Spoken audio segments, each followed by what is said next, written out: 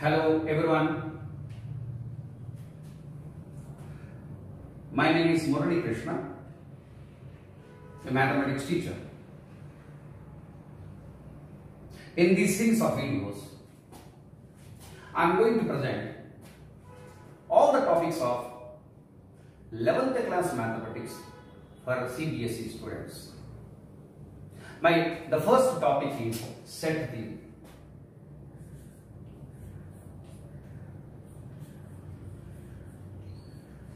It's also your the first chapter in your textbook. First, let me explain what is meant by set. In our day-to-day life, we come across different kinds of objects, like piece of chalk, a pen, a book, or apple, or different objects we come across.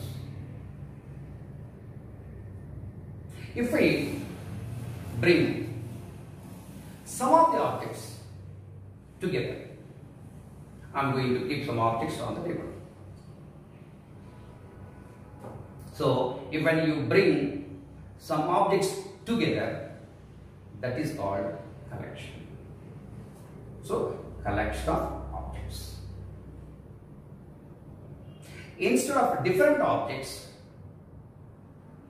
if we bring similar objects together, then that is called collection of similar objects. Now, the collection of similar objects is called a set.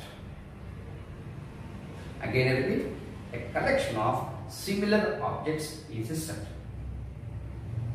Wait. Even though the objects are similar in a collection, that collection need not be a set. Then what is meant by a set exactly? Now, set definition, set is defined as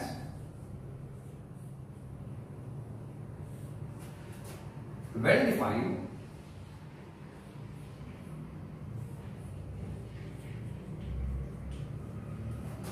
collection of objects.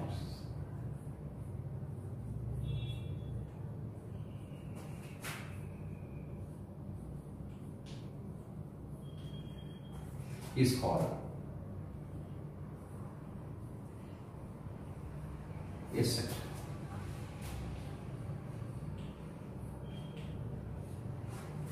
Now here we know what is meant by collection and we know what is meant by. But the new one is given as well defined. What is meant by well defined? Well defined means universally acceptable. Well defined means universally acceptable. So what is the meaning of universally acceptable?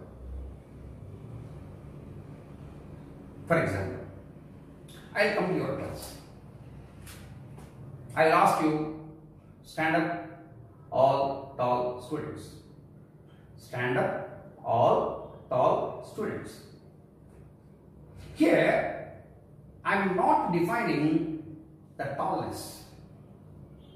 Because of this reason, every student feels that he is the top. So he will stand. Even though I am very short, I will also stand. Why? Because it is not well defined. Instead of that, students whose height is more than 150 centimeters, please stand up. Then I am giving the instructions very clearly. I need those students whose height is more than 150 centimeters. Then this collection is well defined. Here, if you show Mr. X, Mr. Y, Mr. Z are the objects of my required set, everyone of your class accept. Yes, X can stay in that collection because his height is more than. Y can stay in that collection because its height is more than 150. Similarly, Z can stay in that collection because his height is more than 150. So everyone will accept that collection. So that is a set. One more example I will take. If I ask you, please tell the beautiful monuments of the world. Then immediately you say, maybe from India or abroad, from different countries. You say, for example, Statue of Liberty of America.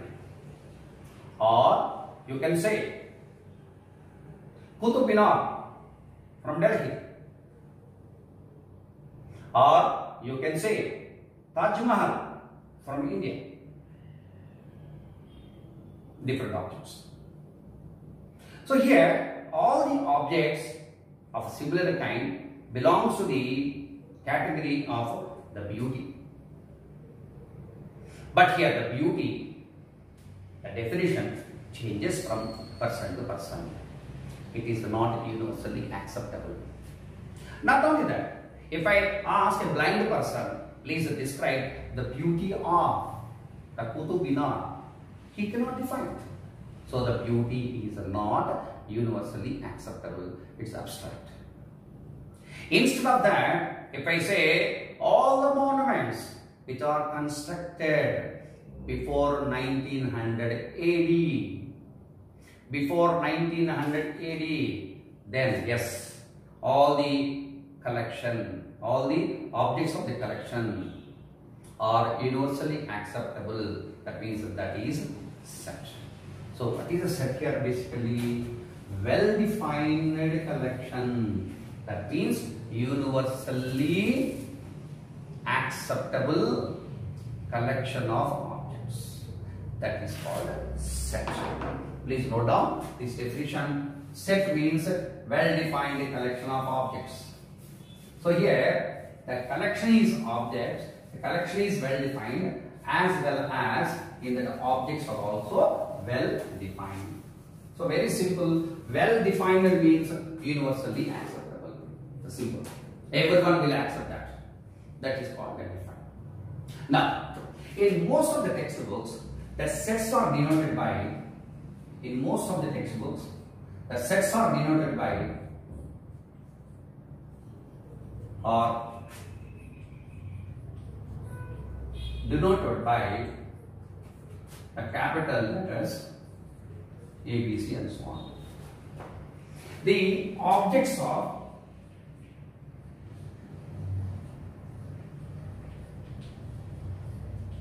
the objects of the set are called elements. Elements of the set. Of the set. And these elements are denoted by by small letters A, B, C or X, Y, etc. And here I am going to introduce one more important symbol. For example, X is an element of the set. See, X is an element of, of the set A. We say that we write it as x and read as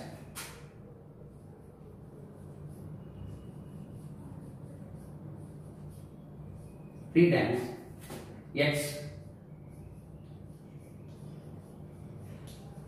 belongs to A. The same time, the same time if x is is not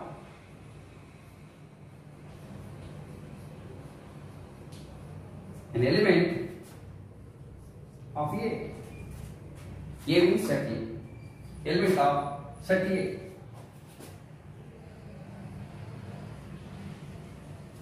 We write it as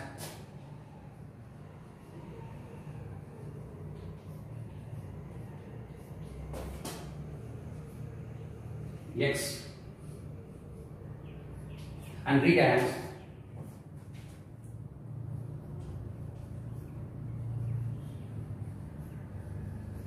Read as. X